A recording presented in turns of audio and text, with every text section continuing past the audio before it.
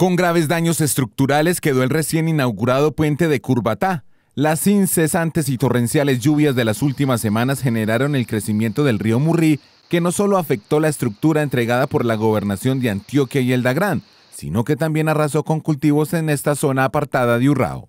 Decirle que el puente donde quedó, quedó en playa, todo quedó en playa. Quedó en playa ya. Miren hacia arriba cómo quedó el puente. La gobernación de Antioquia hizo entrega el 10 de noviembre del puente a las comunidades afroindígenas de la vereda Curbatá en Mandé, el puente colgante de 144 metros de longitud que garantizaba el paso seguro de más de 1.300 personas que habitan la zona, siete días después de una avenida torrencial, causó estragos por toda la ribera del río Murrí, generando también daños a la base de la estructura que tardó varios años en construirse debido a la lejanía y las condiciones climáticas adversas.